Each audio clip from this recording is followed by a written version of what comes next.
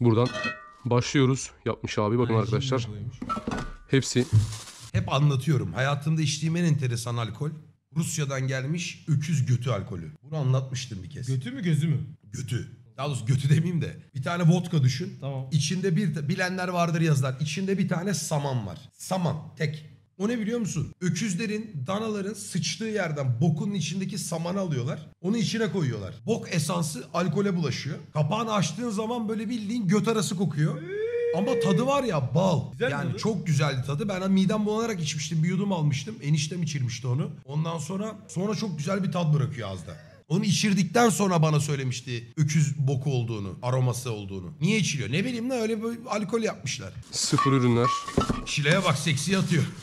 Şunların tanesi 5 dolar. Bu kokuyu nereden biliyorum? Götünü kokladım Halil. Yani bok kokusunu nasıl bilmeyebilirim ya? Bok kokuyor lan. Allah Allah. Göt arası kokusunu sordu. E göt kokuyorsa arası da öyle kokuyordur oğlum yani. Ben onu şey olsun diye, dokunuş olsun diye söylüyorum. Göt Herkes de bir alır o kokuyu. Yani- Ya herkesin burnuna gelmedi mi o Ya koku? illa bir bok söyle. Sanki ben şeyim ama hobim milletin götünün arasını açıp böyle burnumla diye böyle bir kez çekiyorum sanki yani. yani esprisi o işin.